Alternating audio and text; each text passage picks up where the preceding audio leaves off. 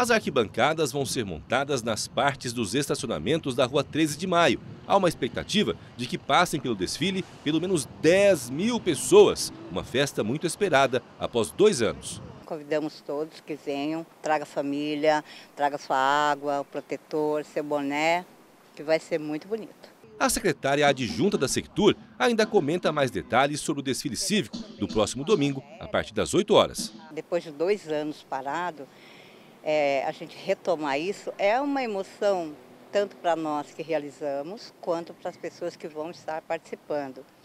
E também vamos ganhar de presente a participação da Esquadrilha da Fumaça. E atenção motorista, que por conta do desfile vão acontecer interdições importantes nas ruas aqui do centro da capital.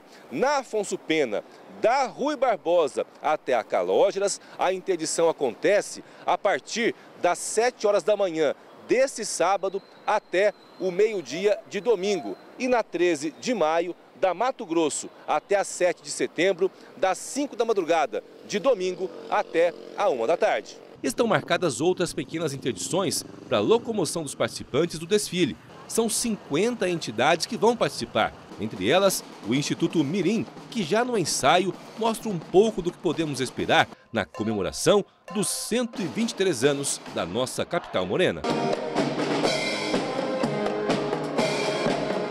Banda que vem com novidades neste ano. A banda vem muito alegre, com músicas muito, muito alegres, para prestigiar a nossa cidade e o público estará lá presente para assistir às nossas apresentações. E claro, todos vão apreciar e se divertir e, quem sabe, cantar parabéns para Campo Grande.